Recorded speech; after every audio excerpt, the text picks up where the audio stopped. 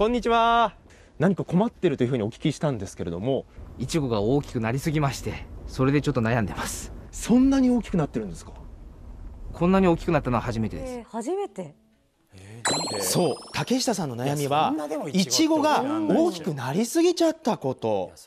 早速見せてもらいました。おーすごい。うわ大きい でかっ。でなんかはハートそうなんですよ。見てくだいさい。普通サイズと比べてこの大きさです。わかりますか？うんめちゃくちゃ大きいんです2よ倍以上じゃない、ねちなみにテニスボールとあほぼ同じぐらいのサイズです。あ比較すると分かりやすい。ただなぜここまで大きく育ってしまったのでしょうか？気になります。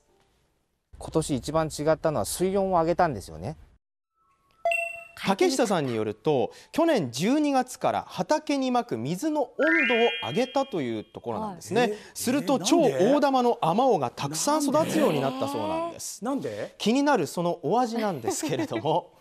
あんま程よい酸味もあるんですけど、それ以上に甘くて美味しいですね。美味しいですねとろとろですよ水温を上げるとねいろいろ栄養が吸収しやすくなるということなんですけどもでも大きくて美味しいどこが問題なのか置くといや全然入っ。てないちょっと収まんなくて。出荷できないんだ。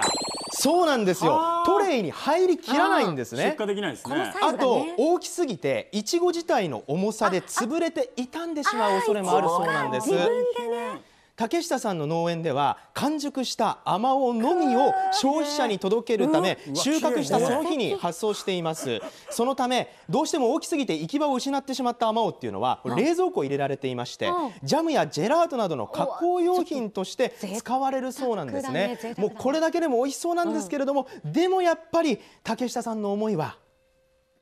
でもすりつぶしちゃうじゃないですか。もったいない見てワクワクするようなものだからそして食べて楽しめるようなそんな方々にお届けしたいです。だから箱箱作ります。今作ってる。